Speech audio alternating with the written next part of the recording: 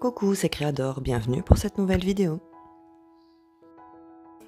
Je vous retrouve pour la réalisation d'une carte de Noël en collaboration avec la boutique Cocorosa Studio. En barre d'infos, je vous mettrai le lien vers les produits que je vais utiliser ainsi que le code promo. Je vais utiliser ce papier. Donc, ce sont des papiers qui font 160 grammes et qui font 15 cm par 15 des papiers donc sur le thème de Noël. J'utiliserai également un dies pour réaliser un petit gnome. Alors j'ai déjà commencé par séparer donc les différentes pièces avant de pouvoir les passer dans la machine de découpe. Donc avec une pince coupante, je vais tout simplement venir enlever les petites parties donc que je n'ai pas besoin.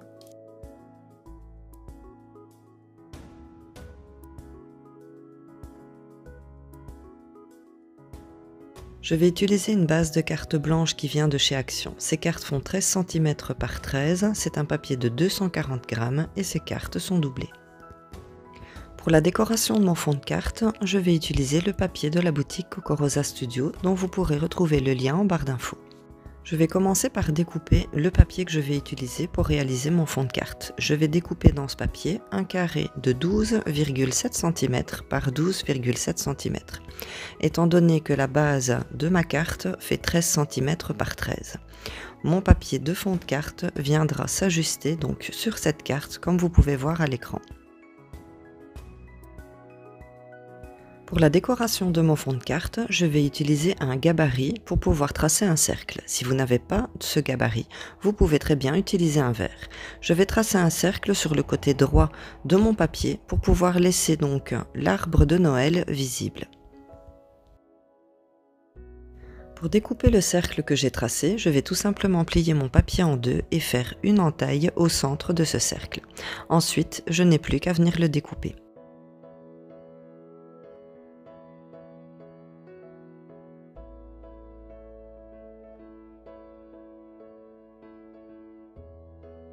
Après avoir découpé mon cercle dans mon fond de page, je vais venir coller celui-ci sur ma carte.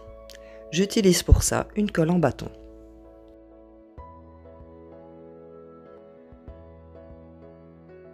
Je vais utiliser les crayons de couleur de chez Action pour venir égayer mon sapin de Noël que je trouve un peu terne. Je vais utiliser le crayon 087. Je vais tout simplement venir recoloriser mon sapin pour le faire un petit peu ressortir de ma carte.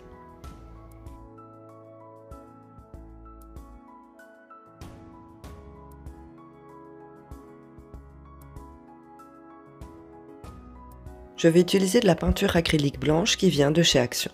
Je vais en utiliser très peu, juste un petit peu au bout du doigt, que je vais venir appliquer tout en haut de mon sapin, là où on vient placer l'étoile. Dans un papier doré et avec une perforatrice étoile, je vais venir découper donc mon étoile que je vais venir coller avec de la colle Tacky Glue juste au sommet de mon sapin. Je vais utiliser cette palette de crayons à maquillage qui vient de chez Action, que vous pouvez trouver donc au rayon maquillage. Je vais utiliser le crayon à maquillage rouge pour faire des reflets dans ma boule de Noël. Je vais tout simplement appliquer un trait de crayon sur le papier que je vais venir estomper avec mon doigt.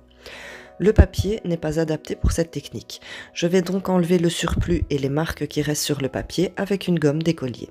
Ensuite, je vais appliquer directement le crayon sur mon doigt avant de venir l'appliquer sur le papier pour qu'il y ait moins de traces. Pour finir, je vais tracer un trait de crayon plus foncé sur le haut et sur le bas de ma boule pour la faire ressortir. Avant de découper les pièces pour faire mon petit gnome, je vais coller chaque pièce sur le papier qui lui correspond. Je vais donc coller avec du mesquin tape la barbe sur le papier blanc, les mains sur un papier rosé, les chaussures sur du papier noir et ensuite le bonnet et l'habit du gnome sur un papier rouge avec des lignes qui fait penser un petit peu à Noël.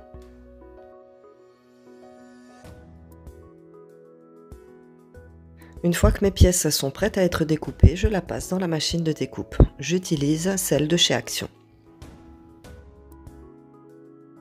Je vais utiliser ce dice de la boutique Cocorosa Studio pour réaliser un Père Noël pop-up. Je ne vais utiliser que le petit cadeau.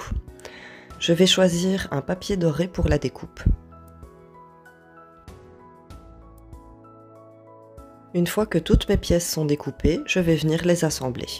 Avant de coller toutes les pièces, je les place correctement. Je vous conseille d'utiliser une pince à épiler parce que ces pièces sont très petites. Voilà le résultat de mon petit gnome une fois qu'il est assemblé et collé.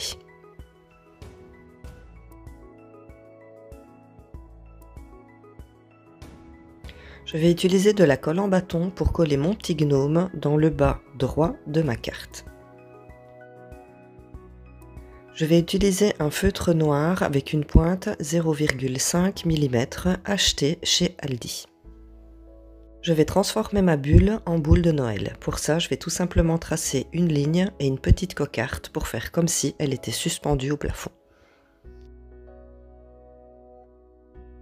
Je vais utiliser une planche de tampon sur le thème de Noël qui vient de chez Action. Avant de tamponner sur ma carte, je vais la placer sur la plateforme de tamponnage de chez Action. Je vais ensuite placer mon tampon là où je veux qu'il soit tamponné avant de refermer la plaque. Ensuite, je vais venir mettre de l'encre sur mon tampon avant de faire l'impression sur ma carte.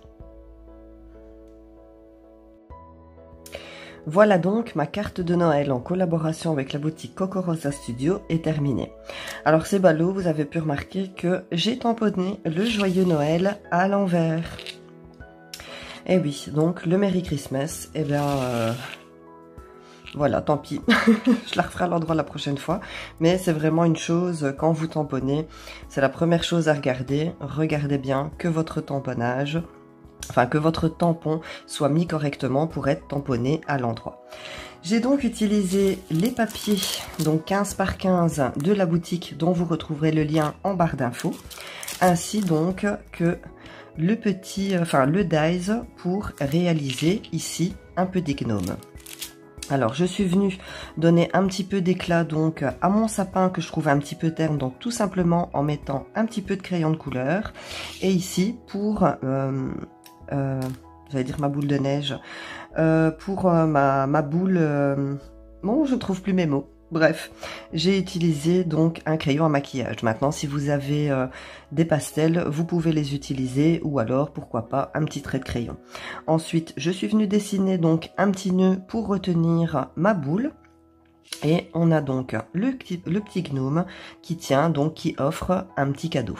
Alors, euh, dans le dice, vous avez une seule petite main comme celle-ci. Donc moi, j'en ai découpé deux. De base, ce petit gnome, vous allez le monter comme ça. Donc vous avez un petit bras, vous avez ensuite cette main-ci et donc ici les petits doigts qui viennent encore ici. Ce sont des pièces que je n'ai pas utilisées donc pour ce petit gnome-ci, mais par contre que j'ai utilisé pour celui-ci.